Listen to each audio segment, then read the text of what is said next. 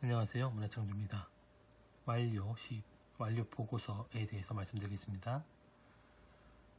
완료 보고서는 첫 번째는 이제 프로젝트 개요에 대해서 하고 두 번째는 웹기획 디자인의 인력 구성 세 번째는 프로젝트 일정 네 번째는 산출물 문서 정리 거기에는 분석, 설계, 개발, 구현 등 고객사가 원하는 산출물 문서를 작성하여 완료 보고서를 작성합니다. 네, 완료 보고자와 이 승인자의 이름, 소속, 지위, 날짜, 직인까지 기입합니다. 그래서 완료 보고서는 하나의 완벽한 어떠한 포맷으로 보고서를 작성해서 제출하면 되겠습니다.